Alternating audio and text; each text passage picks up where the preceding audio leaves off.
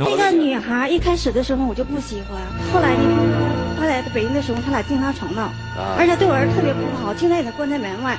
大母亲没有不心疼儿子的。啊，我儿子这么优秀，这么帅气，我希望我儿子找个更好的，啊，条件优越一些的，美观大方的。那你怎么看他这四年为你儿子的付出呢？付出的同时，他俩都在付出，我儿子也在付出。这是亲兄弟还是表兄弟？表兄弟啊，我表哥。你给他介绍相亲是吧？是的。你不知道他有女朋友啊？为什么给人介绍相亲？我就感觉他配不上我弟弟。一开这不谈了四年了吗？听这个。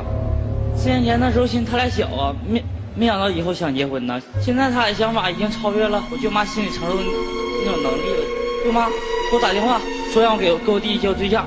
我在北京也混了好多年了啊，而且我们公司美女又多。来，哥哥，给我站过来。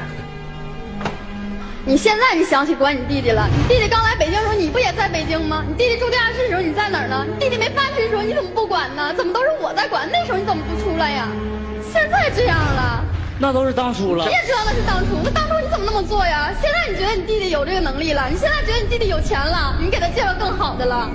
那以前我们家也没有人让你家拿钱供我弟弟啊，那都是你你家自己愿意的。你怎么说话没良心？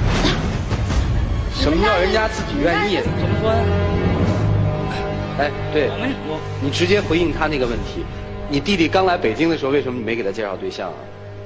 刚来北京的时候，我感觉我弟弟小，我给他介绍对象也成不了，所以所以就不想给他介绍。感觉你弟弟小，还是感觉你弟弟没收入啊？自己都养活不了，怎么养活别人呢？你怎么不知道养活养活你弟弟呀？就阿姨，宁拆一桩庙，不拆一桩婚。我跟你儿子这么多年了，我现在我就觉得你就我跟你说最实在话，你说什么都没有用，知道不？那是我们俩做的，你过分吗？你作为老人，儿子关在门外呀啊！这是应该做的吗？来，你跟阿姨说一下，你为什么不让他儿子进门？他儿子真的每次都是喝醉。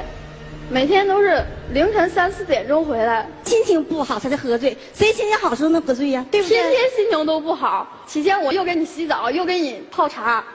你对他太好了，你知道吗？我觉得我就是对你太好，真的每次都这样。我没有工作吗？谁大半夜起来三四点钟那么愿意伺候你啊？那你最起码给我开门吧。自己没有钥匙吗？啊这个我我从一开场我就特别好奇，我这个好奇的心吊吊在半空中半天了。这小伙子能转过来让我看一眼正脸吗？大姐，这儿子确实长得不错。